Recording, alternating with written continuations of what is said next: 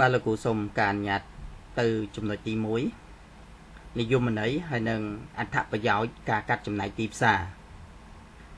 ដោយបងប្អូនបានជ្រាបហើយថាអ្នក marketing ដែលចង់ទទួលបាននៅឧត្តមភាពហើយនឹងជោគជ័យនៅលើទីផ្សារយូរអង្វែងបាទពួកគេត្រូវតែយល់ដឹងអំពីទីផ្សារហើយការខិតខំបំពេញចិត្តអតិថិជន តាមរយៈការផ្ដល់នៅផលិតផលដែលត្រឹមត្រូវហើយថ្លៃក៏សមរម្យត្រឹមត្រូវ នៅពេលវេលាមួយដែលត្រឹមត្រូវហើយនឹងទីកន្លែងដែលត្រឹមត្រូវដើម្បីធ្វើការសម្រេចបាននៅភាពត្រឹមត្រូវដែលខ្ញុំលើកឡើងនឹងគឺអ្នក marketing ត្រូវការយល់ដឹងពីអេរិយាបថបាទអេរិយាបថអតិថិជននៃទីផ្សារគោលដៅហើយ ដែលផ្អែកទៅលើការកាត់ចំណាយទីផ្សារហ្នឹងហើយផ្ដើមចេញពីការវិភាគទីផ្សារផលិតផល បាទណាមួយនោះគឺយើងឃើញថាវាកម្រមានទីផ្សារដែលមានលក្ខណៈជាលក្ខណៈស្តង់ដារឬក៏គេហៅថាស្មើសាច់បាទស្មើសាច់បានសេចក្តីថាវាផ្សំឡើងដោយអតិថិជន ដែលខ្ញុំចង់បើកវងកញ្ចក់ជម្រាបជូនថាអាចជាបុគ្គលឬក៏ជាអង្គភាព បាទច្រើនប្រភេទហើយមានលក្ខណៈបាទខុសគ្នាលើប្រការដូចជាចំណងចំណូលចិត្តបាទហើយមូលហេតុនៅក្នុងការទិញរបៀបទិញឬក៏ប្រើផលិតផលបាទខ្ញុំអាចលើកជាឧទាហរណ៍ថា នៅទីផ្សារលក់នាឡិកាដៃយើងអាចសង្កេតឃើញអតិថិជន ដែលគាត់ទិញនាឡិកាដៃហ្នឹងគឺយកទៅប្រើ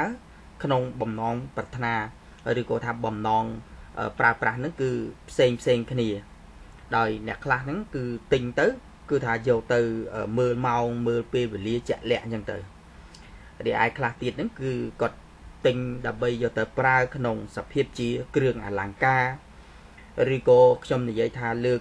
ស្ថានភាពសង្គមបាទរបស់ខ្លួនហ្នឹងក៏មានដែរហើយក្រៅពីតម្រូវការ មិនដូចគ្នាហើយអ្នកទិញក៏មានច្រើនប្រភេទទៅទៀតដែលខុសគ្នាតាំងពីកម្រិតអាយុបាទតាំងពីភេទសញ្ជាតិតំបន់រស់នៅទំនៀមទម្លាប់ចំណេះដឹងហើយនឹងសមត្ថភាពបាទបងទូទាត់នឹងម្យ៉ាងទៅទៀតបាទស្ថានភាពប្រកួតប្រជែងខុសៗគ្នានឹងវានឹងមានការប្រែប្រួលផ្សេងផ្សេងទៀតបាទដូចជាការប្រសើរ សហគ្រាសទាំងឡាយនឹងគួរតែផ្ដោតទៅលើចំណែកណាមួយ បាទចំណែកណាមួយឬក៏លើសពីនេះ នៃទីផ្សារដែល ខ្លួនអាចមានព្រៀបខ្លាំងហើយបំរើទៅដល់អតិថិជននឹងបានល្អជាងគេ បាទដែលបានល្អជាងគេដែលខ្ញុំចង់សម្ដៅថាល្អជាងគូប្រកួតរបស់យើងទៅទៀតណាហើយតាមរយៈការកាត់ចំណាយទីផ្សារបូកនឹងយុទ្ធសាស្ត្រ បាទដែលផ្ដោតទៅលើទីផ្សារគោលដៅហ្នឹងគឺសហគ្រាសអាចកំណត់បានពីសេចក្តីត្រូវការអាចកំណត់បានសេចក្តីត្រូវការហើយយើងអាចនិយាយទៅដល់អេរយាបតបាទអេរយាបតនៃចំណែកទីផ្សារក៏ដូចជាស្ថានភាពប្រកួតប្រជែងដែលគេអាចដណ្ដើមប្រៀបទៅលើគូប្រកួតបានដោយជោគជ័យទៀតផងអញ្ចឹងយើងអាច ផ្ដល់អត្តន័យទៅលើការកាត់ចំណាយទីផ្សារហ្នឹងថាម៉េចបាទគឺជាដំណើរការនៃការបែងចែកទីផ្សារហ្នឹងជាក្រុមអតិថិជន ដែលប្រកបទៅដោយសក្តានុពលហើយមានសេចក្តីត្រូវការនិងចំណង់ចំណូលចិត្ត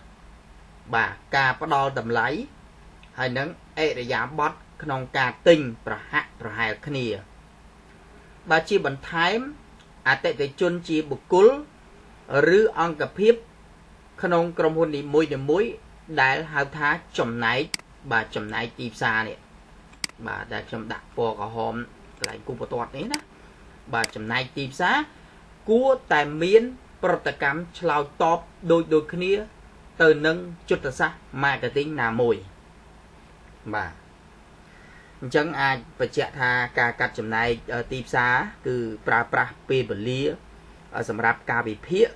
ហើយនឹងការព្យាករយ៉ាងច្រើនអត្ថប្រយោជន៍នៃការកាត់ចំណែកទីផ្សារហើយនឹងបដោតលើទីផ្សារគោលដៅនេះគឺថាផ្ដល់លទ្ធភាពទៅដល់អ្នក marketing បាទក្នុងការកំណត់ណាក្នុងការកំណត់បាន ពីទីផ្សារជាក់លាក់បាទពីទីផ្សារជាក់លាក់បាទ អញ្ចឹងការកំណត់បានទីផ្សារជាក់លាក់នេះដើម្បីឲ្យដឹងថានរណាជាអតិថិជន បាទតើតម្រូវការរបស់គេ អាចនឹងមានការប្រែប្រួលបែបណា បាទអ្វីខ្លះដែលជះឥទ្ធិពលដល់ការសម្រេចចិត្តរបស់គេ បាទកន្លែងកំណត់បានជាក់លាក់ពីទីផ្សារនេះបើយើងមើលពីចំណុចមួយទៀតខ្ញុំអាចនិយាយបានថាគឺផ្ដល់លទ្ធភាព ទៅដល់អ្នក marketing ហ្នឹងណាបាទក្នុងការកំណត់កាន់តែបានល្អបាទនៅនរណាជាគូប្រកួត បាទរួមជាមួយនឹងយុទ្ធសាស្ត្ររបស់គេដែរបាទហើយជួយឲ្យអ្នក marketing ហ្នឹងគឺ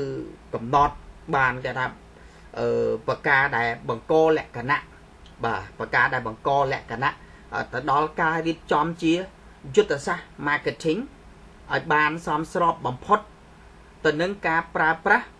បាទធនធានដែល មានប្រសិទ្ធភាពធនធាន បាទសំទោសដែលមានប្រសិទ្ធភាព បាទដូចជាខ្ញុំចង់និយាយសម្ដៅទៅដល់ការរៀបចំផលិតផល ហើយនឹងការជំរុញដែលឆ្លើយតបទៅនឹងកម្រិតខ្ពស់បំផុត បាទទៅនឹងសំណុំពោទៅនឹងការចង់បាននៃចំណែកទីផ្សារអញ្ចឹងបើយើងនិយាយទៅដល់យុទ្ធសាស្ត្រកាត់ចំណែកទីផ្សារនេះ ខ្ញុំអាចនិយាយបានថាវាពិតជាមានសារៈសំខាន់ជាទីបំផុត បាទចំពោះសហគ្រាសខ្នាតតូចនៅកម្ពុជា ដែលមានធនធានកម្រិត បាទដែលមានធនធានកម្រិតប៉ុន្តែអាចឲ្យពួកគេនឹងប្រកួតប្រជែងជាមួយនឹងសហគ្រាសដែលធំជាងខ្លួនបាន បាទប្រសិនបើគេធ្វើការជ្រើសរើសបាទទីផ្សារគោលដៅហើយនឹងប្រើយុទ្ធសាស្ត្រ marketing នឹងបានសមស្រប